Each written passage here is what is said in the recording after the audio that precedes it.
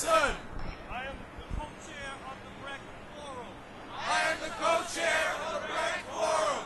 And that's one of the hats I wear. And that's one of the hats I wear. And my comrade Rick Wolff is also on the board of the Brecht Forum. And my comrade Rick Wolff is always on board of the Brecht Forum. The Brecht Forum, if you haven't visited, is a place where working class ideas It's a place where working class ideas and culture and culture get played out, get played out, get thought out, get thought out, get fought out. get fought out. And we welcome you. And we welcome you. We're on the West Side Highway and Bank Street. We're on West Side Highway and Bank Street.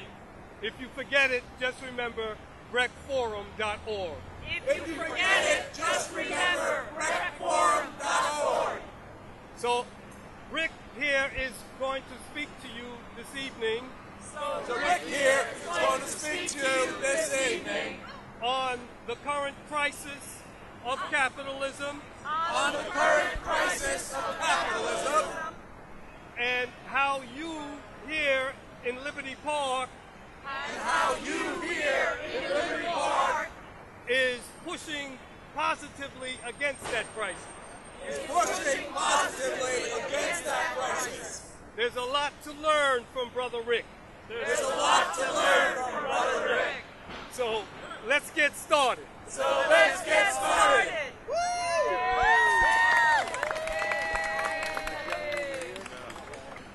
Thank you all for coming here. Thank you all for coming here. It is an honor for me as a lifelong teacher in universities to have a different situation, a different classroom. It's an honor for me.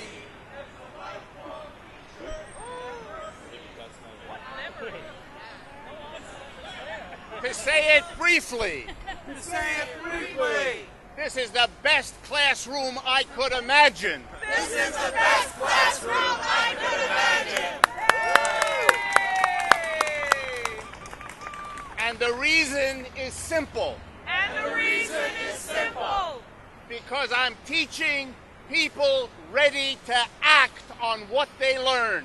Because I'm teaching people who are ready on what they learn. and who are not afraid to take new directions in a country that desperately needs it.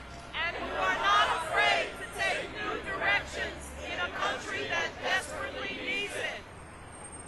Earlier today, Earlier today, the head of the Federal Reserve, the head of the Federal Reserve, Ben Bernanke, Ben Bernanke, referred to the American economy. Referred to the American economy. As experiencing a sluggish recovery. as experiencing a sluggish recovery. He lives on a different planet. He lives on a different planet. There has been no recovery. There has been no recovery for 99% of the American people. for 99% of the American people. The people you are leading in a new direction. The people you are leading in a new direction. I know that the idea of leading is scary, I know that the idea of leading is scary, and you may not want to, and you may not want to, but you're doing it anyway. but you're doing it anyway. And most of America is applauding you. On you. Please remember with me Please remember every day that you persevere, every day that you persevere, you make it easier. You make it easier. For people across this country. For people across this country. Who used to feel alone. Who used to feel alone. When they watched an economic system fall apart. when they watched an economic system fall apart. They thought they didn't have anyone else who shared what they felt. Share what they felt. You are making it possible for them to You feel are making it possible for them to feel stronger, not alone, and that is changing this country. to feel stronger, not alone, and that is changing this country. So, and I mean this from the bottom of my heart. And I mean this from the bottom of my heart. Teachers like me across the nation Teachers like me across the nation are deeply grateful for what you are doing here. are deeply grateful for what you are doing here.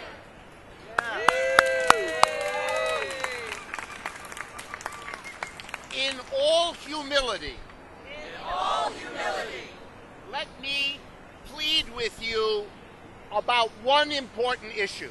let me plead with you about one important issue. There is a reality that is behind the concerns we all have. There is a reality behind the concerns we all have. I mean the concern about the grotesque inequality that exists in this country. I mean about the grotesque inequality that exists- that exists in this country. I mean the attack on the natural environment we all depend on. I mean the attack on the natural environment we all depend on. And I mean the fundamental corruption of our political system. And I mean the fundamental corruption of our political system. The most important for me issue The most important for me issue is that you and we have the courage that you and we have the courage to name and change the reality behind all of that. to name and change the reality behind all that. And by that, I hope it comes as no surprise. And by that, I hope it comes as no surprise. It is the economic system called capitalism. It is the economic system called capitalism. And let me explain what I mean. And let me explain what I mean. I mean the way we organize the production of the goods and services we all depend on. I mean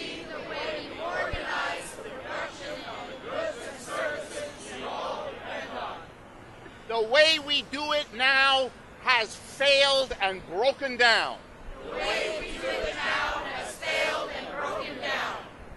We have a system in which a tiny group of people, We have a system in which a tiny group of people, and they have names, and they have names, they're the major shareholders of all our corporations.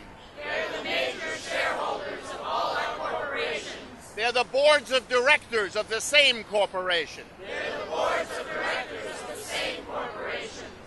They make all the key decisions. They make all the key decisions. What to produce, What to produce, how to produce it, how to produce it, what to do with the products that come out, what to do with the products that come out, and how to dispose of the profits all of our labor creates. and how to of the all our labor creates. And we know what they do with it. And we know what they do with it. They give themselves obscene bonuses and salaries. They give themselves obscene bonuses and salaries. They move the jobs of Americans out of this country in order to make more money by exploiting workers abroad. They move the jobs out of this country in order to make more money by exploiting the workers abroad. Sorry. They use their profits to buy the political system.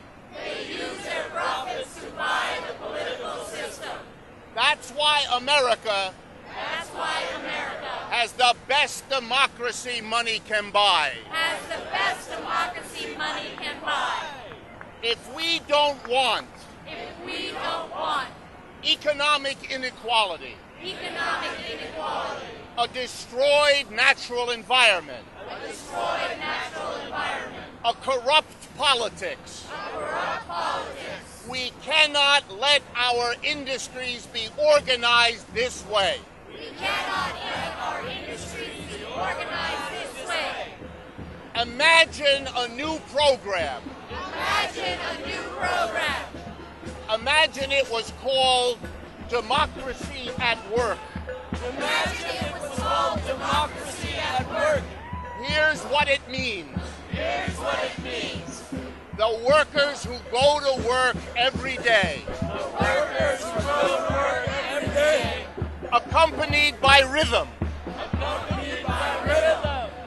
they ought to be the ones They ought To be the ones who make the decisions who make the decisions. To produce, What to produce, how to produce, how to produce, and what to do with the profits. and what to do with the profits. Then we would have Then we would have nothing like the inequality we have today. nothing like the inequality we have today. No jobs going out of the country and into people's lives, No jobs going out of the country. and the money would make politics serve us, And the money would make politics serve us. not the rich who are the shareholders Not the rich who are the shareholders and the boards of directors. and the boards of directors. We could call this cooperation. We could call this cooperation. We could call it a co-op. We could call it a co-op. We could call it a democratic political and economic system. We could call it a democratic political and economic system. And when our enemies use words like socialism and communism, we should. Our answer is Our answer is it's over. it's over. You can't shut us up You can't shut us up with language with language whose intent Whose intent is to keep a broken system going. is to keep a broken system going. For many years, For many years, Americans have debated Americans have debated the education system, the education system, the health system, the the health health system, the transportation system. the transportation system.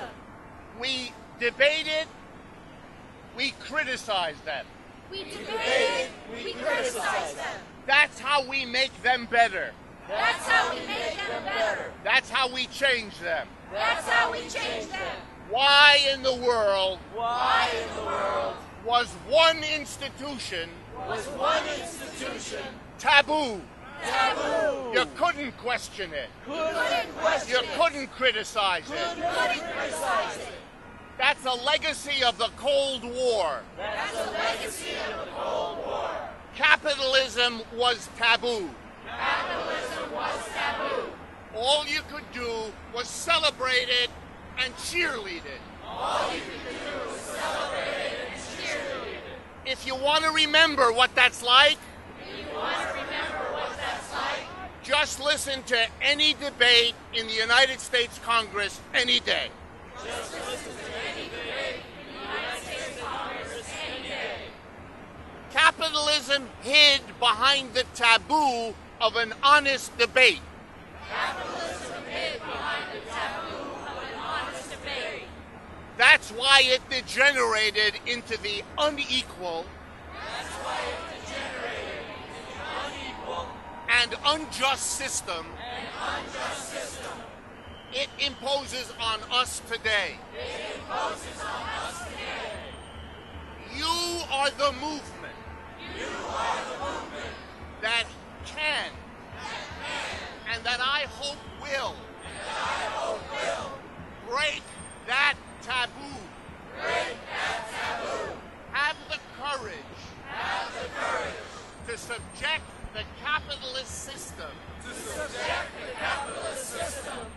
same honest criticism. to the And honest debate. that should have been going on that should have been going on for the last 50 years. for the last 50 years. Here's an idea to think about. Here's an idea to think about. The United States can do better than capitalism. The United States can do better than capitalism. At a time, at a time in this country where every day thousands of Americans experience in their own lives that capitalism doesn't work for them. that capitalism doesn't work for them. The idea that we could do better than capitalism The idea that we could do better than capitalism has a mass audience. has a mass audience. You can gather and mobilize that audience. You can gather and mobilize that audience. And the United States will be in the debt of this movement And the United States will be in the debt of this movement for generations to come. for generations to come. Yay!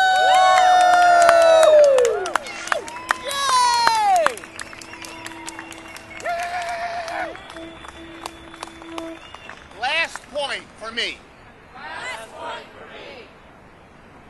The idea of going beyond capitalism, The idea of going beyond capitalism. of beginning to believe that working people and the people of communities Beginning to believe that working people and people of communities have the capacity have the capacity to organize and produce the goods and services organize and produce the goods and services is a matter of growing up. is a matter of growing up. Don't imagine Don't imagine that a handful of people a handful of people have some special competence have some special competence to organize the economic system. to organize the economic system.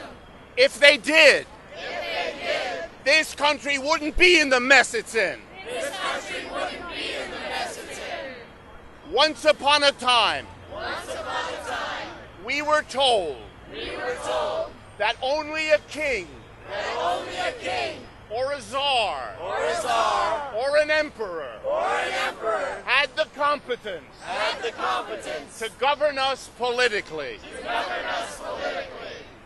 We eventually We eventually cut off their heads. off their heads. I, I am not advocating anything like that. Anything like that. Far be it from me. Far be it from me. But if democracy is a good idea instead of monarchy, But if democracy is a good idea instead of monarchy, then democratizing our workplaces democratizing our workplaces is a lot better is a lot better than the autocracy than the autocracy and the aristocracy and the aristocracy governing our economic well-being. governing our economic well-being.